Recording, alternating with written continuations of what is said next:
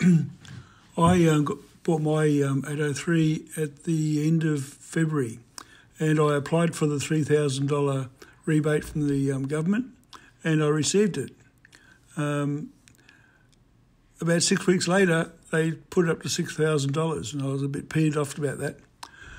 But what I didn't know is that the um, that when they put up to six thousand dollars, it was also backdated.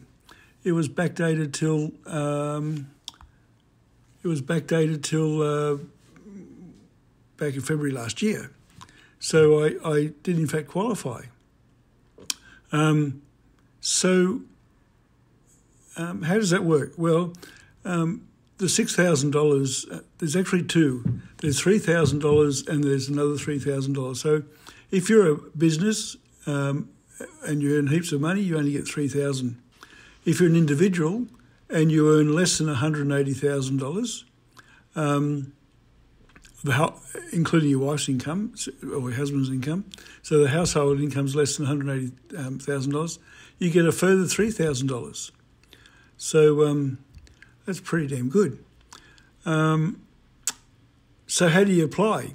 Well, you go back to where you applied for your 3000 originally um, and you um, click the apply now.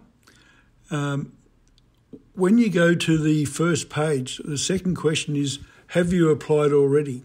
If you say yes, then they go to another series of questions where they verify your income and that you're an individual. Um, and then four or five days later, um, the, the, money goes into your bank account. Um, so I didn't know about it until uh, recently, and I just got another three thousand dollars.